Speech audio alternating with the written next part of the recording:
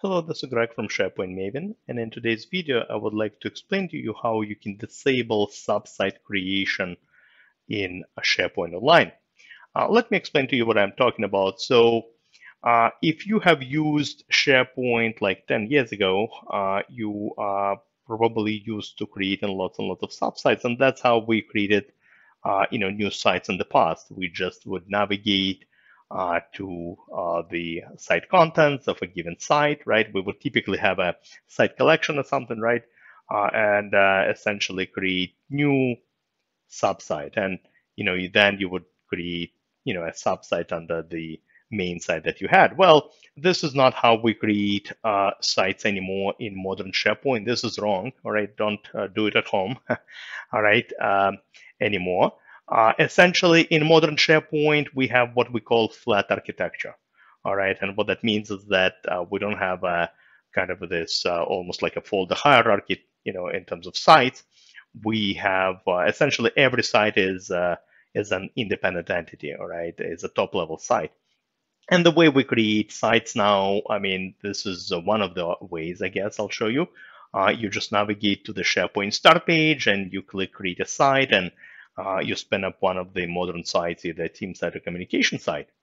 Uh, and uh, there will be no subsites in this case, all right? Essentially, all the sites will be kind of independent of one another. As you can see, uh, it's not like one site is underneath the other. Uh, they just kind of uh, have independent URLs, and there is really no physical, you know, hierarchy between them. Uh, well, unfortunately, what happens way too often uh, still is that users create lots of subsites, and they just don't make any sense with modern, uh, you know, SharePoint because the subsites. First of all, they like like the same, you know, templates, uh, you know, those team sites and communication site templates that we have in modern SharePoint. Uh, there is always a mess with the security and permissions inheritance. Subsites cannot be connected to teams uh, and so on. All right. Long story short, then obviously subsites are not, you know, cannot be easily connected to the hub, uh, right? Because uh, it's essentially a subsite. It's not the top level site. Uh, anyway, long story short, do not create any more subsites. That's absolutely wrong way to proceed. Create modern, you know, team sites or communication sites. But unfortunately, unfortunately, what happens is that users are still going in. If I'm a site owner, they go to site contents and you know, they create this new subsite button and they create a subsite. Uh, some organizations, by the way, also disable modern site creation, right? So they actually disable this create a site button.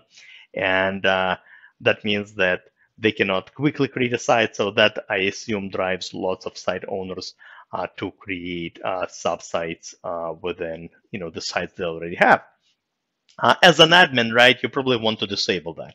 And there is a way to disable that, and let me show you how to do it. So uh, you need to navigate to the admin center. And obviously you need to be a SharePoint admin for that. And uh, let me navigate to the SharePoint admin center now. And uh, now uh, you will need to click on settings. However, um, as of recording of this video, uh, this particular setting is, does not appear on this modern kind of dashboard. You kind of have to go to classic settings page. All right, um, I'm sure with time this feature will become available in modern uh, experience as well.